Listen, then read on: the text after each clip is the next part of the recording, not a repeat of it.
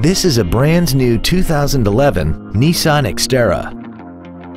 This SUV has an automatic transmission and a 4.0-liter V6. Its top features include air conditioning, cruise control, steering wheel mounted controls, a CD player, traction control, a rear window defroster, and alloy wheels.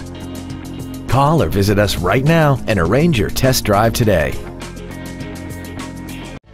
Thank you for visiting the Larson Automotive Group, serving the South Sound for over 52 years.